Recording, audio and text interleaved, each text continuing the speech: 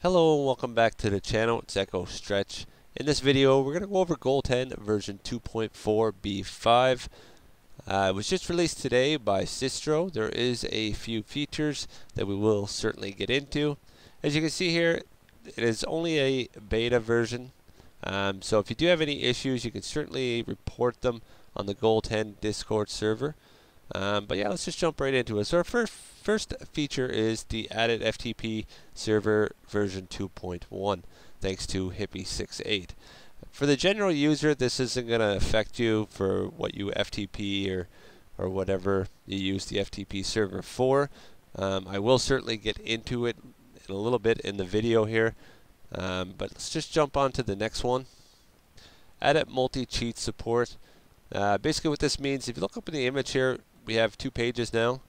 This is just in case uh, two people make the cheats, then you can actually add both cheats on there, and you can toggle it between each one. Um, that's basically all that means. Um, edit multi-firmware support. For the basic user, this isn't going to make a difference. Um, it just means that there's one file now that works for all three firmwares.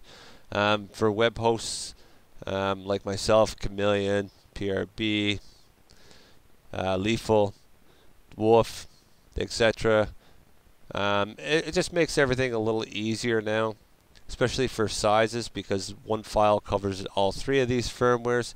So you're going to see a big difference on the E boards because now it's just one GoldHEN and we're limited to that 4 megabytes. So we might be able to squeeze in the 505, 6.72, and 9.00 just on the 1.4 megabyte board.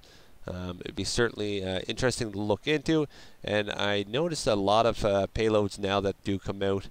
They're they're multi they're multi firmware support, so it's one payload and it works for all the firmwares. So it'd be interesting to look into. I will be certainly uh, checking it out and seeing what I can do with the with the four megabyte limit. Let's jump on to the next one here. Added package install uh, source settings.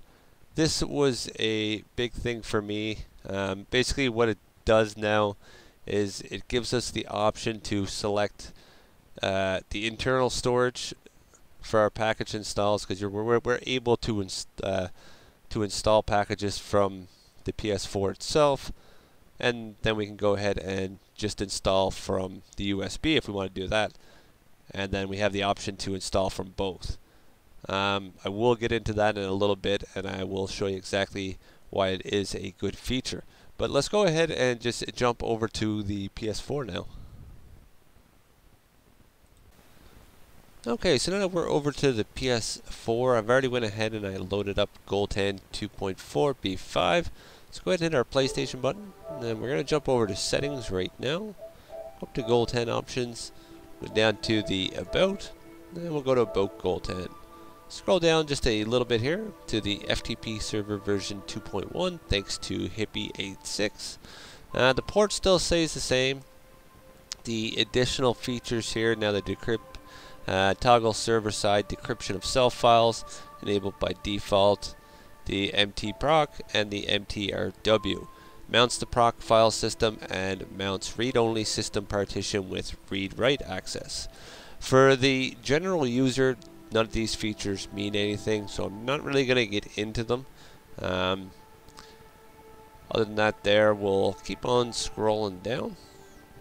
And we can see that we do have our change log here. So added the FTP server added multi-cheat support, which we will get into, uh, added multi-firmware support, and then added package installer source settings. We'll get into that as well.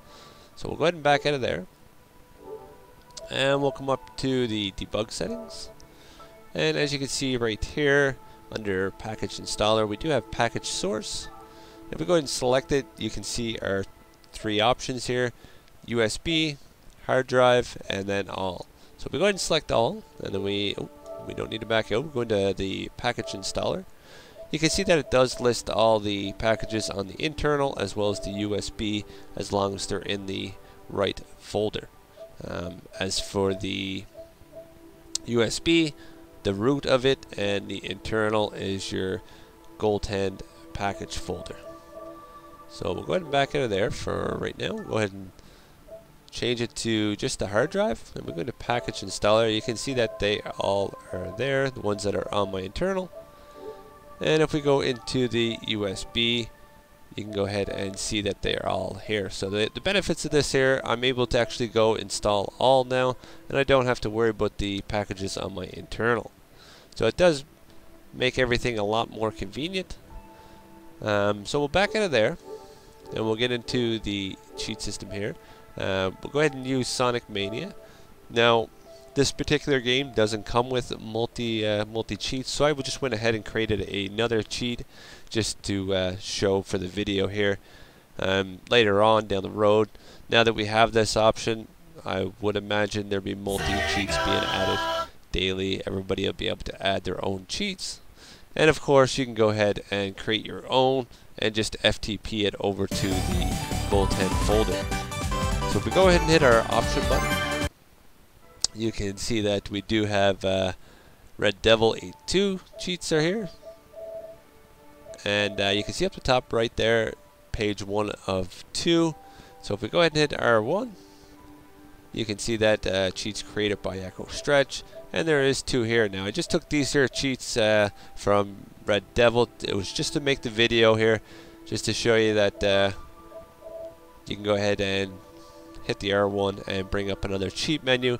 And of course you can go ahead and select one of them, unselect them. And uh, yeah guys, that's basically it for the video.